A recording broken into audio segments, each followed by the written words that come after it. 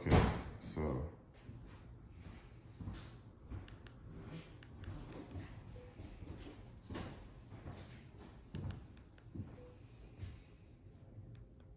I don't think I'm hardwired in anything. Search it for Wi-Fi networks.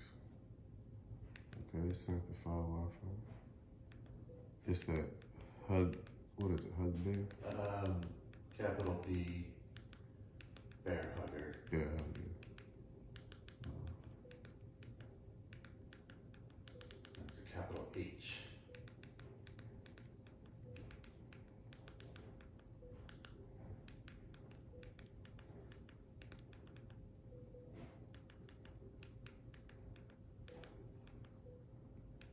1966.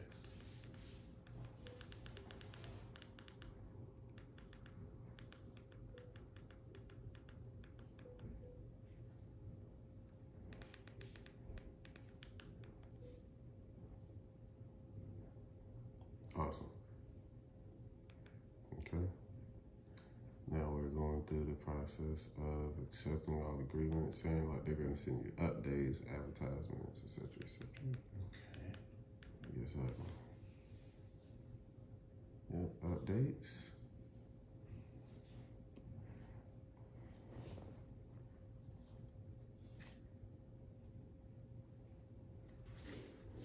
All right, latest software. Do you have a Samsung? do you have a Samsung account at all? Yeah, You do? I do. Do you know your email address and all that? Let me see. Can I?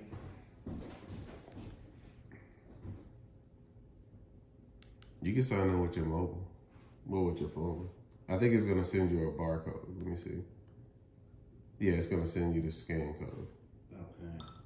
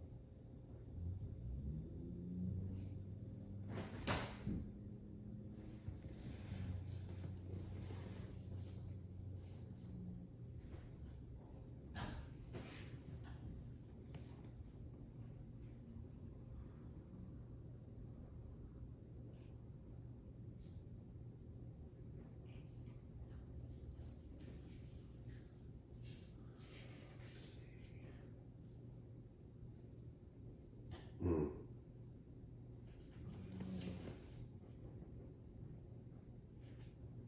Okay. I think I know my Samsung account.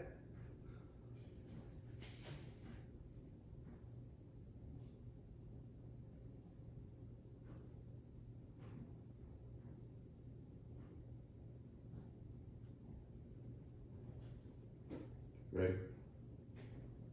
Um,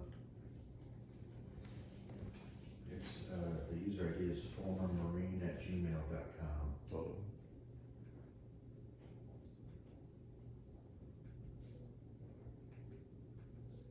All right. The email is former. Yeah, former marine.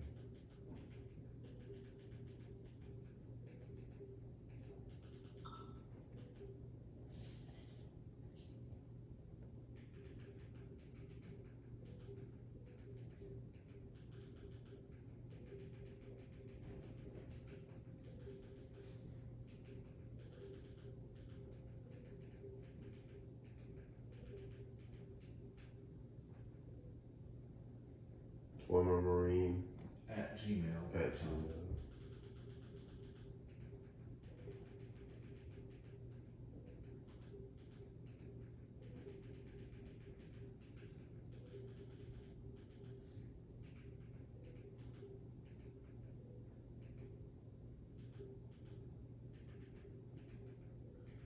I almost lost the dot. I thought it was a comma.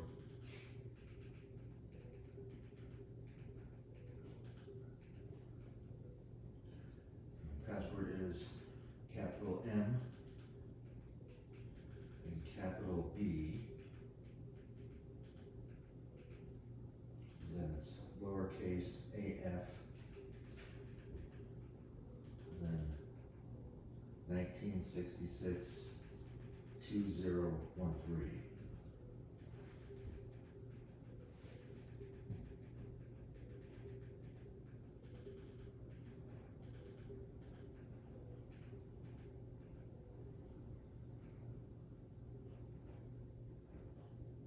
Okay, it's gonna send you a verification code. You ready?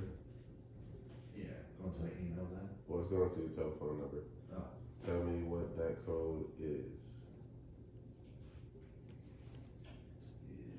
is seven seven eight five five eight.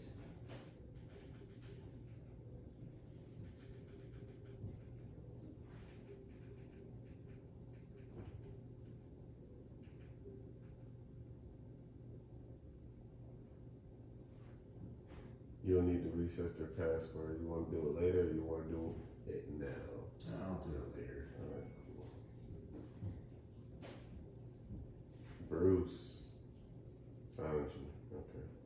So the cool part about this is Samsung has this application called Smart Things or Samsung Smart Things. Meaning this is their smart version of electronics. So like if you have or add on anything through a Samsung device, it has to go through their Samsung operating system, Samsung Smart Things, and you compare Alexa, Google Assistants, voice activated assistants with it. Okay. That's the reason why they do that because it has to be tailored to whatever the personal use of the name is going to be. Right, okay.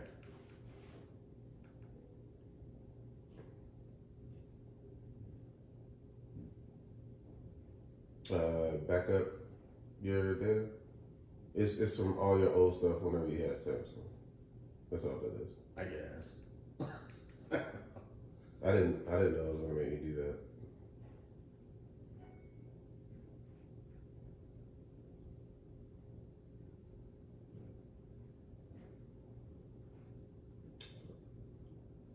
Zip code? Yes. What's the zip code here? Two eight two. One zero.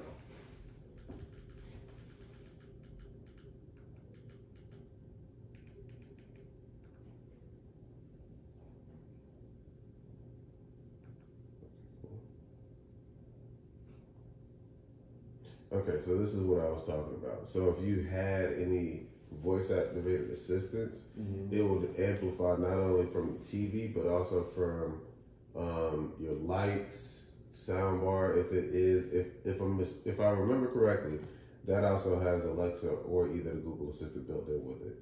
So you're able to pair it from that device. Say like you speak to your remote, it turns on your TV, your soundbar, and everything Oh, okay. else. So that's how that works. Oh, So we can set that up either now or later, but I still have to go through the Sonos. But that'll be, I think it's either one of these two. Yeah, like Google Assistant. I think it's the Google Assistant, I'm not sure. But I know it's one of those two. Alright. Links. Um.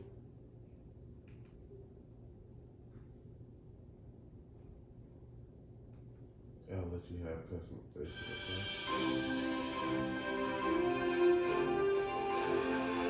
So the reason that they show you this is because this is the best that your TV can do. Okay. The absolute best picture, best color, best lighting, best everything that your TV can do. So they show you all that because that is the display that you can see. Now, when I would sell this TV to people because they were looking at it, I would say that these these TVs themselves are good enough to give you a nauseation feel if you're watching them in real time, good motion. So like, say for instance you're watching uh, Fast and Furious and you're going through a whole bunch of tunnels or whatever it may be the case. You can legitimately start to feel some of the nauseation that comes from that Right. if you're hungry or Right. like that. And so I don't know if you just saw prior to doing this, but the resolution content wasn't all the way up to 1080. It wasn't 4K. It was probably like 720, and then it transitioned over. I don't know if you saw that, but that's kind of what upscaling is. It takes whatever the worst content possible that they can give you and upscale it to make it so that it's better on your television. Okay. Yeah, I did see a little, Yeah. little like fuzziness or whatever. They don't like being separated. They don't need that. Say your goodbyes quickly. Have a buyer wait to meet us. Come on, let's get them loaded.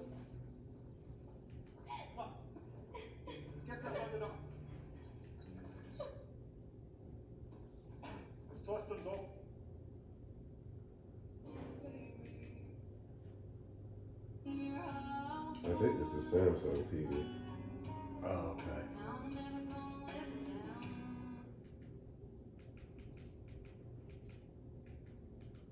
Whoops. I keep going past where I need to go. It's that little home button thing right there. Well, okay, that's not that.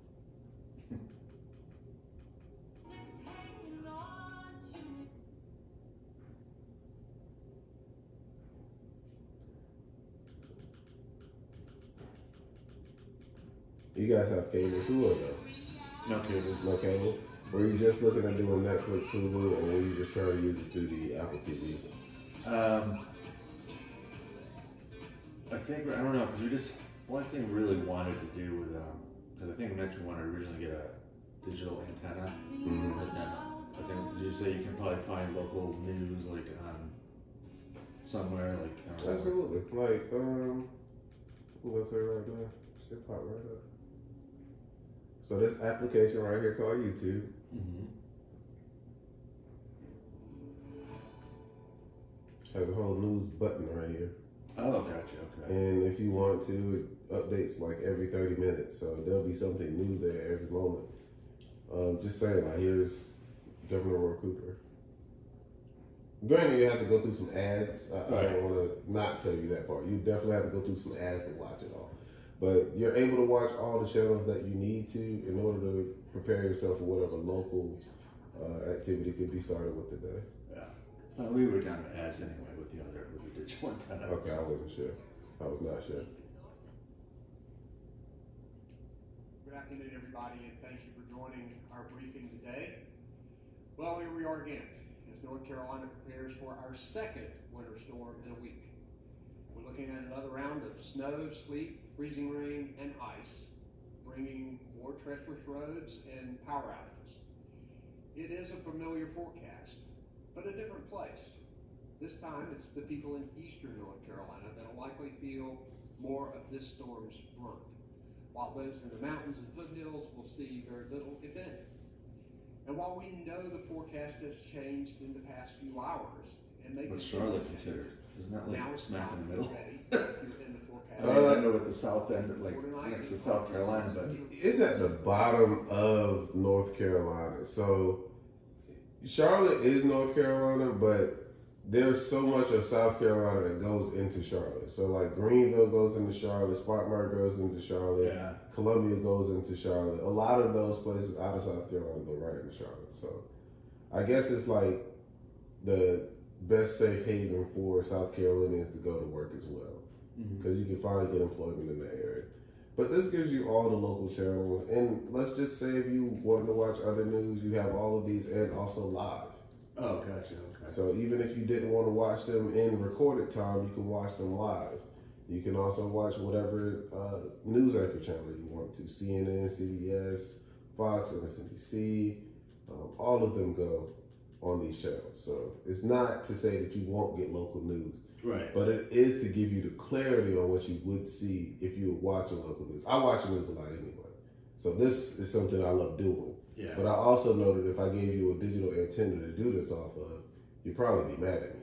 And I don't want you to do that. So, so I'm just trying to give you the best recommendation on how to go about this if you wanted to. There are going to be commercial breaks, probably of ads, but they're going to be less than what your average commercial break would be. Right. Right. Okay. So this is all the local news. If you wanted to search for anything in particular, you have a search bar up here. Gotcha. So anything you wanted to look for. And if there was just something you wanted to browse upon, They give you all these options. YouTube is limitless.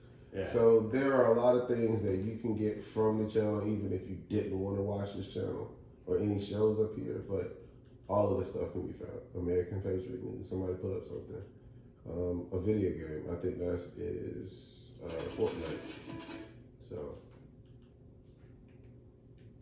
there's a good bit. I just don't want to deter you from saying that you need to have an antenna. Okay, cool. Alright, so now I'm gonna mosey on over to I gotta come back to that the Apple TV. That's actually a really fun game too. I've played that in um not in this reclining chair, but in something similar to it with a racing wheel, and it's really fun. It's really, really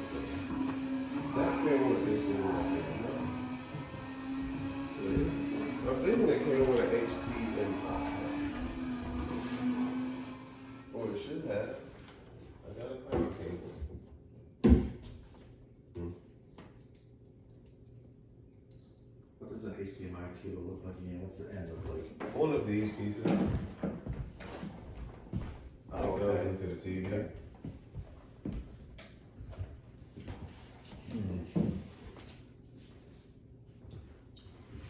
Do you have an extra one by chance?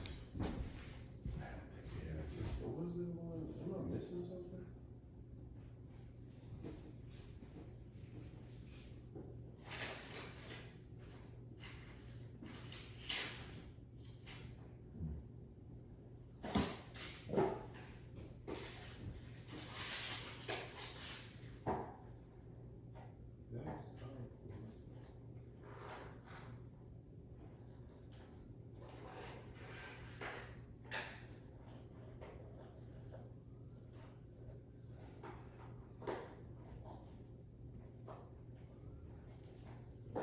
Bizarre. Okay.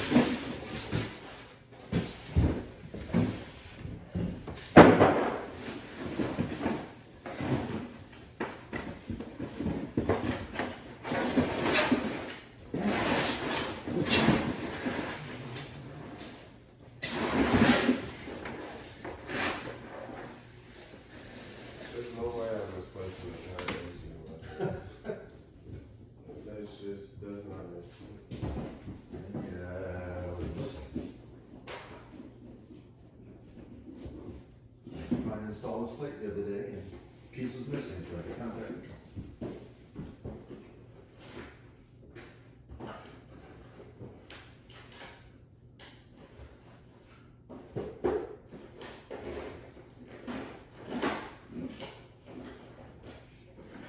Is that one box? Is that what's on this one?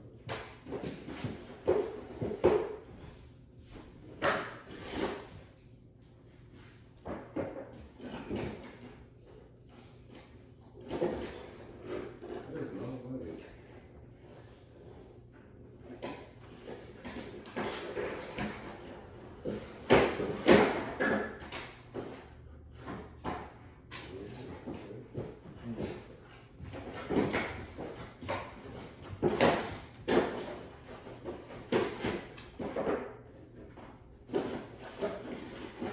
Let me read something real quick.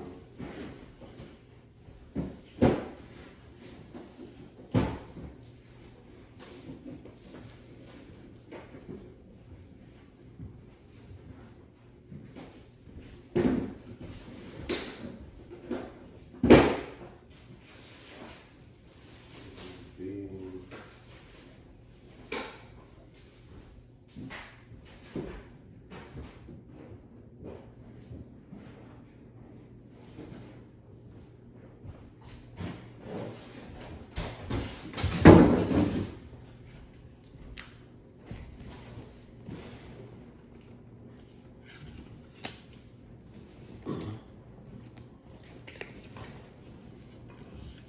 Well, I probably should do the Wi-Fi part first.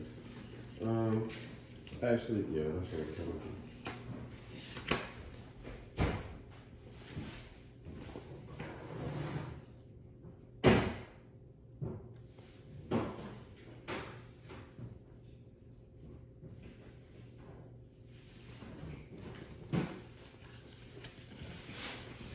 Okay, let's do another option. Let's set up your Wi-Fi